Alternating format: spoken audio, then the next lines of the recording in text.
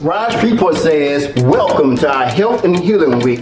2020 has been a year of triumph that we have all struggled with to overcome. This year, 2020 week says, Welcome to party with a purpose, the masquerade. We will present to you seminars such as physical health, emotional health, and domestic abuse.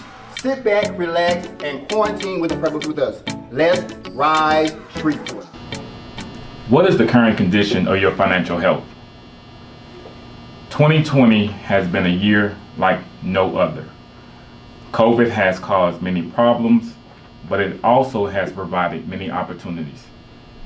Today is your day to figure out what is the current condition of your financial health going into 2021. So how do you determine your financial health? What are some things that you can look at in order to determine how financially healthy you are? First and foremost, let's start with employment. Financial health must start with monies that are coming in. If you were employed in 2020 and you currently have lost your job due to COVID, there's some options for you. First and foremost, let's start off with trying to learn a different skill sets. Every university in our community is looking for students to go back to school in order to better their education. Not only can you go back to school, there are certain schools out there where you can go back to school with no money out of your pocket. What do I mean by no money? You can qualify for financial aid. I'm not talking about student loans. I'm talking about grants that you do not have to pay back. Many community colleges, such as Southern University of Shreveport or even Bossier Parish Community College, the cost of tuition is so low that majority of the students who qualify for full Pell will have enough money in order to cover their tuition and their books without having to take out a loan. So if you're currently not employed, going back to college and obtaining more education is a good way to start off your 2021 year. You can go on to FAFSA website and complete your free application for federal student aid right now and apply for those colleges and receive those grants in order to further your education. Those who are working, in order to determine your financial health, take a look at your budget. I always say this, I know exactly what you love by what you spend your money on. So when you go home tonight, pull up your bank statements and see where you're spending your money. Not only see where you're spending your money, start calculating. See where you can save.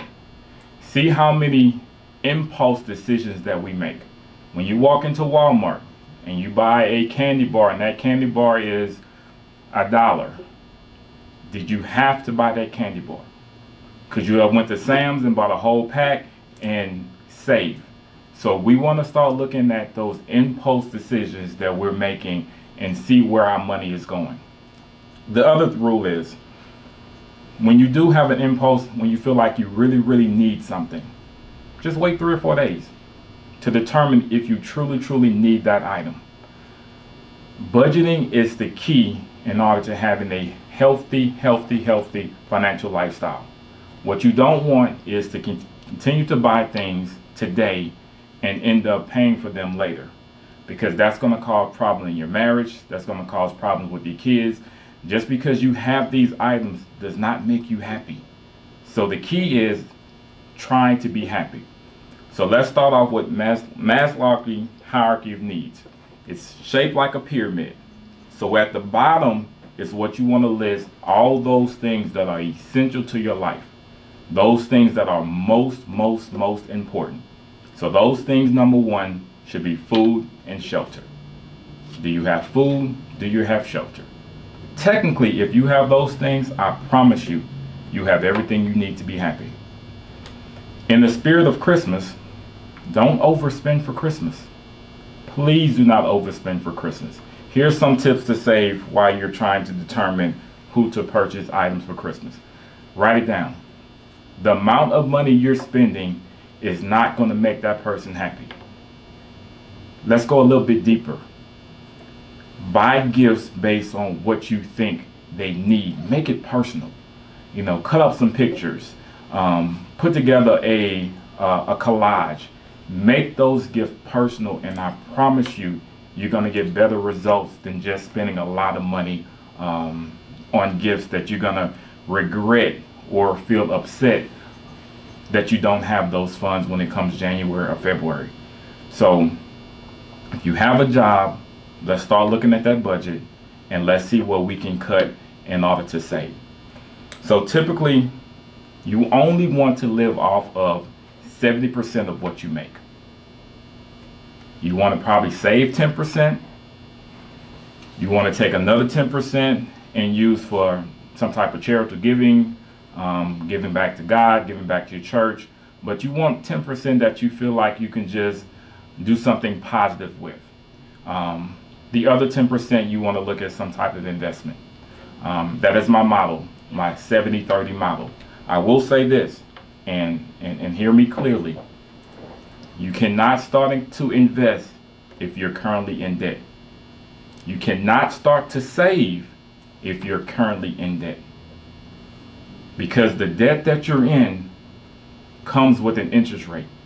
And that interest rate is going to be um, is going to hurt you more than the amount of money you're trying to save. So the first thing before you try to save, and a lot of people make this mistake, let's focus on getting out of debt. So how do we get out of debt? Let's find one debt first, and all debts are not created equal. So you're looking for the debt that carries the highest interest rate, and put all of your extra money towards reducing and getting that debt paid off. Once that debt is paid off, then you move on to the next debt and you keep repeating the cycle. Again, do not try to save money when you're currently in debt. How many people have went into their savings account every time they try to save simply because they did not have enough money? You're going to keep repeating that cycle. Same thing. Do you have enough money? Everybody hates bills. But watch this. You don't have one bill that you didn't sign up for. You don't have one bill that you did not agree to. So those bills you have are your bills that you said yes to. So it's time to start saying no. So look at those bills, those recurring bills, those bills that you can't pay off. They're going to come each and every month. Your direct TV bill, your Comcast bill, your cell phone bills. Um, where can you start cutting? Where can you start reducing? Do you have to have them? If you say you work all the time, then why do you need cable? Why can't you stream? Why can't you get Netflix? Um, why can't you get uh, Disney HD? Um, your kids. If your kids are always on the phone, are they really watching TV? So why do you have three or four boxes in your house? So start thinking about that. Start thinking about your lifestyle. Now, everybody's lifestyle is different. If you love eating out, then you may not be the person that can travel. You can't always have everything that you want. But remember, we're starting off with the triangle. The most important needs at the bottom, and then as we build up to what we call our wants. So start off with your needs, and then we'll build up to your wants. So when you take your budget, you're taking all the income that you're coming in, and then you're focusing on the 70%. Do you have enough money to current to pay the current bills that you have obligated to pay. That's the first goal. If you do, then whatever is left over, let's make a plan for that money. Let's not leave it to chance. You need to have a plan for every single penny that's coming into your household. That is how you become successful. That is how you become happy with your finances it should not be left up to chance. Once we look at your budget, a lot of people talk about credit. Everybody wants to improve credit. Yes, I know a lot about credit. I call myself a credit expert. However, credit is only needed to be used.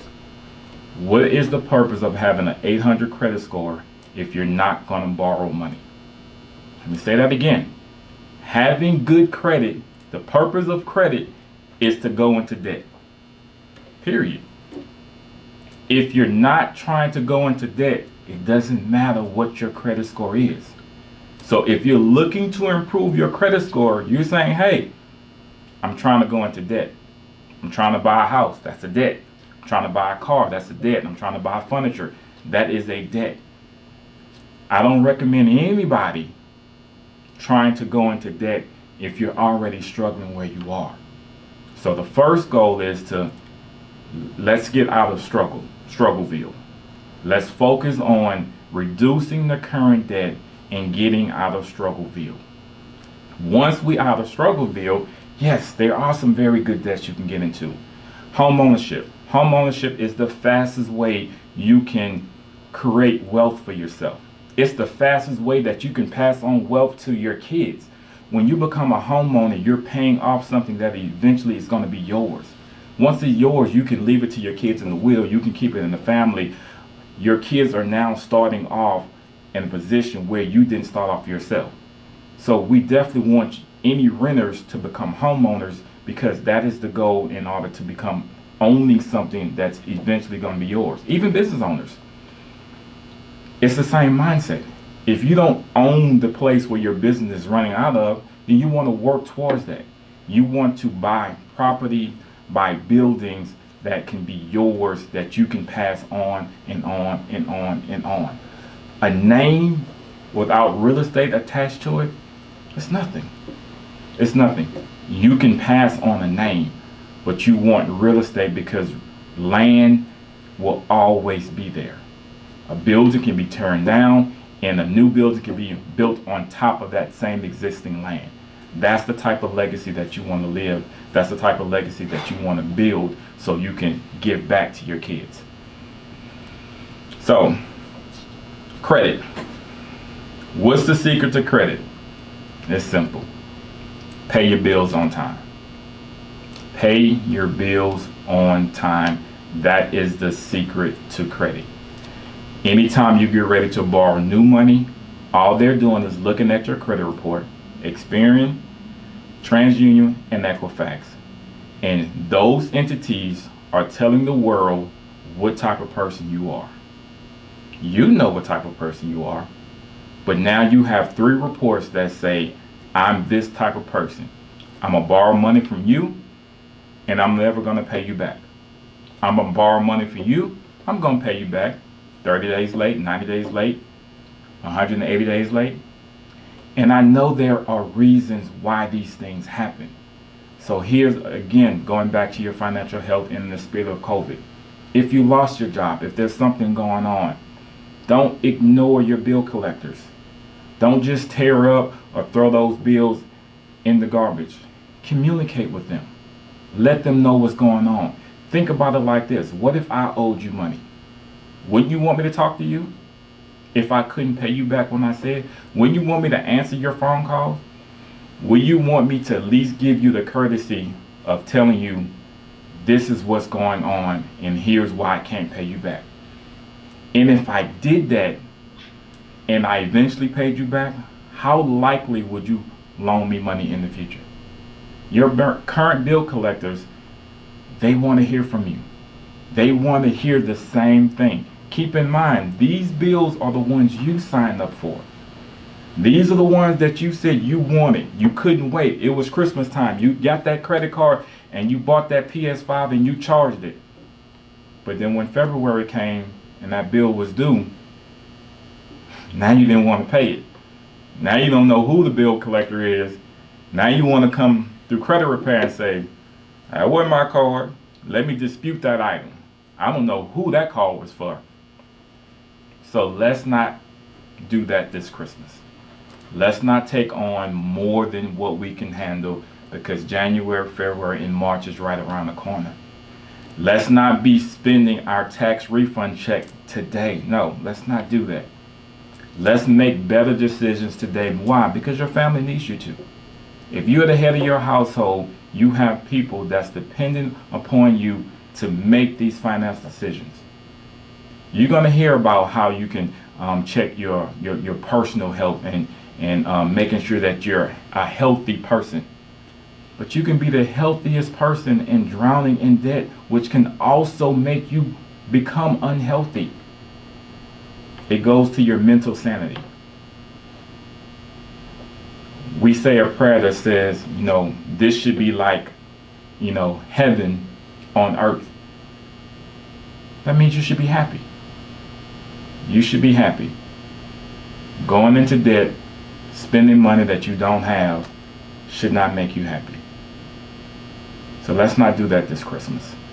I promise you, your family will understand. I promise you, when you become more financially healthy, it will show. You'll have more time at home. Uh, your kids will be happier. You'll be happy. You'll have a happy marriage. That is the goal. So we talked about job. We talked about budgeting. And we're going to talk about some credit techniques. So you can get a free copy of your credit report every year from uh, annualcreditreport.com. I recommend you signing up for Identity IQ. It will allow you to get all three of your reports and pull all three of your scores. Once you have all three of your reports and all three of your scores, just take a look at it. If there are some inconsistencies, if there's some things that are wrong on it, then yes, dispute those items. Get those items off your account, but let's start cleaning up your credit because credit is critical to getting into good financial debt. But that should be third. Number one should be developing a skill set, getting a job you love. That is critical, a job you love. So how do you know if you have a job you love? Look at the thing that you love to do so much you'll do it for free. There's something you love to do, you'll do it simply for free. Then all you have to do is find somebody to pay you to do that, and that's your job. Or look at the thing that you feel like you just can't stand. You don't understand why the world is this way and you just it just it just gets under your skin. That may be something that you're commissioned to change. So if you don't like it, then develop a business or a company that's job is to change that thing that you don't like. And then you're going to get paid to do it as well. That is how you will never work again if you find something that you love to do. It won't seem like work. That's your job, that's your skill set, that is how you earn money. And only you can do that specific thing. That's why you here. That's why you was created. That's why we all got different fingerprints. We all got different DNAs because we are unique. So I truly believe that each person has a purpose. What is yours? If you don't fulfill your purpose, nobody else can. Nobody can beat you being you. So figure out what your purpose is and you'll never work a day in your life. You're simply going to get paid just to be you. Now, now that we got money coming in, then spend it wisely. You know, spend it wisely. Let's not try to keep up with the Joneses. Let's not try to keep up with the Jacksons. Spend it wisely. Say yes to the things you want, no to the things you want. And then when somebody asks you how is life, that's based on you. That's based on the number of yeses you said. That's based on the number of no's you've given out. That's your decision. Only you are in control of those decisions. As we transition from budgeting now credit. Good credit allows you to, to pay less for things that other people are paying more for. Let me say that again. Good credit allows you to pay less for things that other people are paying more for. You have people right now driving Lexuses for less than what people are driving Hyundais for, only because of credit score. It, it, it's not because of where you work.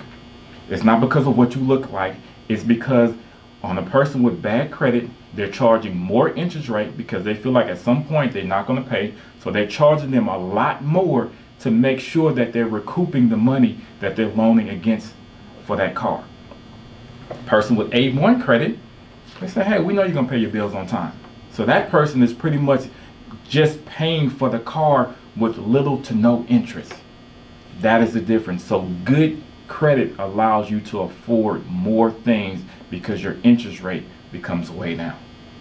See, when we talk about interest rate, most people think that's a bad thing.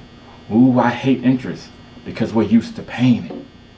But when you start learning these tips to financial health, when you start improving your financial health, in another segment, I'm going to show you how you can get paid on loaning your money out and you can get paid back your money plus interest.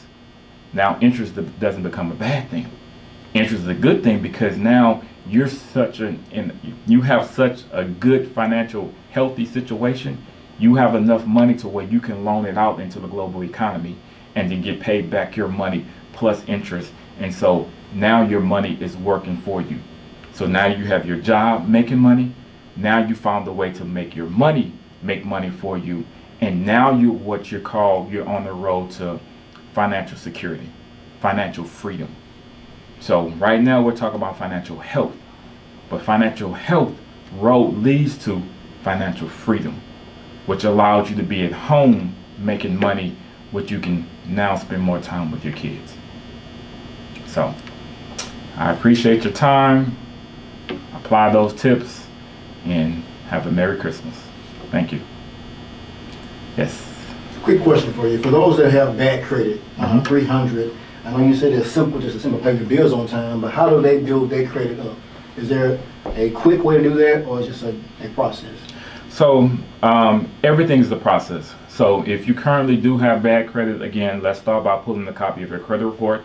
That's what I would do if I'm trying to advise you. And I will look to see what's on your credit report and then we'll start step by step to getting those things cleaned up. Um, there are laws that protect you. Um, those same laws that protect you, we allow, we use those laws to um, to start cleaning up your report. Um, now, if you uh, your credit report is composed of pretty much three things: um, bad things, good things, or you don't have any credit at all. So for those that have bad things on your on your report, the goal is to get those things um, deleted and removed. Um, if you can get it removed completely from your credit report, you're going to gain the most amount of points. A lot of times people feel like, well, if I just settle with them, that'll be good enough. Not in many cases. Because if you settle with them, it's still going to show up. Uh, think about uh, your report card. Um, it's still going to show up that you had a F at midterms. Even though you may end up passing the class, that thing is still going to show up. So if you plan on settling with them, never settle with any company that does not want to remove that item from your credit report. So anytime you try to settle, make sure that you get the item removed. That's how you're going to get the most amount of points. Um, so for those who don't have credit at all, who are trying to establish credit, the best way to establish credit is to get a secure credit card. Another way for um, my, my younger generation, um, get added to one of your parents' credit cards that have been having a credit card for a while. Now, be careful. Um, and parents, I'm talking to you now make sure that you're doing right by that credit card because it's a two-way street. When you add your son or daughter to your credit card, they're going to in inherit that credit history from that card. So if you're doing good, they're going to inherit good credit. If you're doing bad, they're going to inherit bad credit. But they can be added to your credit card before they even turn 18. By the time your son or daughter turns 18, they can have 800 credit score um, by adding them to the things that you have right now. Hello, and thank you so much for uh, attending our Health and Healing Week. Uh, Rise Shreveport is a nonprofit organization in Shreveport, Louisiana, and overall we deal with a holistic approach of the community. RISE stands for Resilient Individuals Striving for Excellence. Long story short, we want to help educate the community with ways to bounce back. Uh, our, five, our five components are physical health, mental health, emotional health, financial health, and spiritual health. 2020 has been a year like no other. We want to give you some tips on how to bounce back into, into 2021 and to know that things are possible. We thank you for attending. Enjoy your holiday. Um, for more information, follow us on Facebook, Instagram, visit our website at www.riseshreveport.com. And remember, let's rise Shreveport.